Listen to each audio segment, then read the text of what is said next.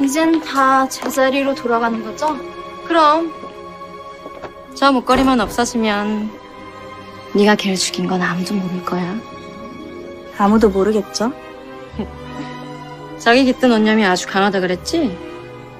저 목걸이를 태우면 네가 용서받을 기회도 영원히 없어지는 거야. 상관없어요. 아닌데? 그럼 넌 영원히 못 돌아가. 네? 네 영혼이 진짜로 죽는다고 아무도 모르게.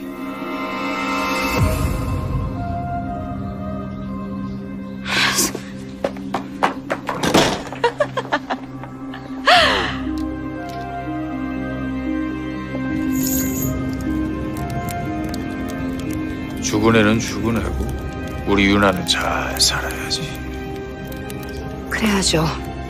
다 없었던 일인 거예요. 그런데 그 여자 마지막으로 한 말은 무슨 뜻일까? 아, 두 분이 하신 선택은 딸의 영혼을 죽이는 일이라는 건 알아두시죠.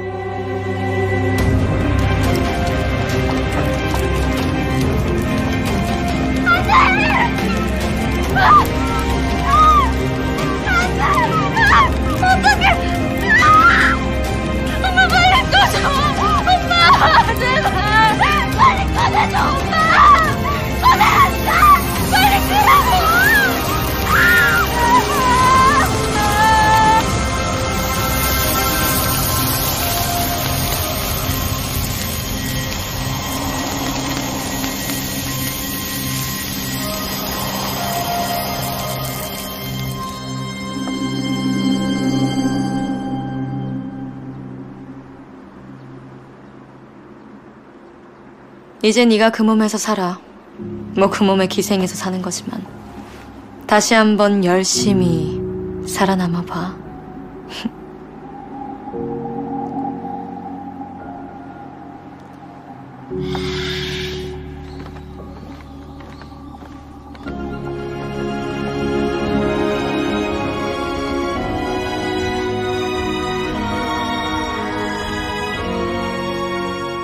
진정한 기생충이 된 거지.